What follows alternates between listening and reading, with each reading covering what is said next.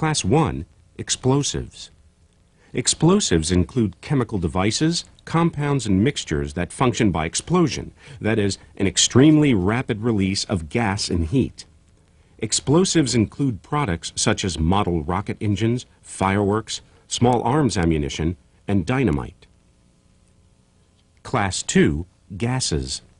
Class 2 is broken down into three divisions. Division 2.1 is flammable gas, such as acetylene.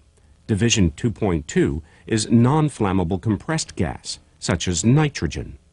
Division 2.3 is poisonous gas, such as chlorine.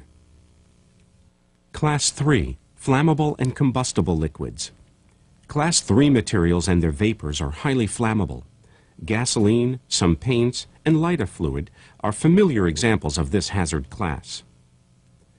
Class 4 is divided into three divisions. Division 4.1, flammable solids such as matches. Division 4.2, spontaneously combustible materials such as phosphorus. Division 4.3, dangerous when wet materials such as sodium. Class 5 is divided into Division 5.1 oxidizers and Division 5.2 organic peroxides. Products in Division 5.1 oxidizers, such as hydrogen peroxide, generally yield oxygen readily and cause or contribute to the combustion of other materials. Products in Division 5.2 organic peroxide include materials such as benzoyl peroxide, which may be thermally unstable compounds. Under certain conditions, an organic peroxide can begin to chemically decompose by itself, producing heat or combustion. Class 6 is divided into Division 6.1, poisonous or toxic materials, and Division 6.2, infectious substances.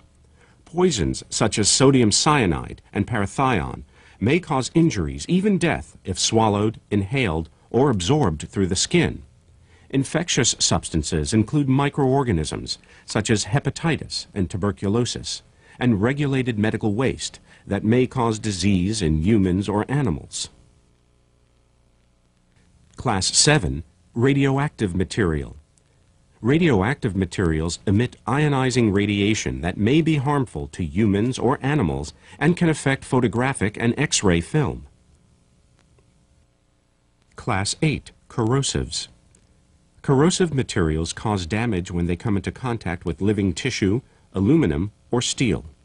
The acid in a car battery is an example of a Class 8 material.